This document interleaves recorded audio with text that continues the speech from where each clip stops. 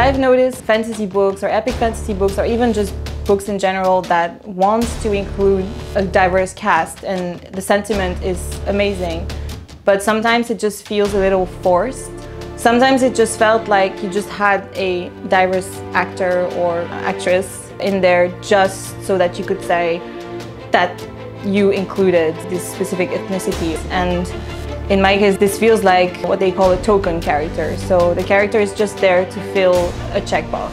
And this is where I'm like, I understand why they did it and it's great that they wanted to do it, but they could have given that character way more purpose and way more meaning to the story and not just have it hang there. If you want to have a diverse cast and have a black character or a character with a disability or a gay character, don't just make them gay for being gay or black for being black. Have them play an important role in your story because it feels way more natural if they're not just there as ghosts that fill a checkbox.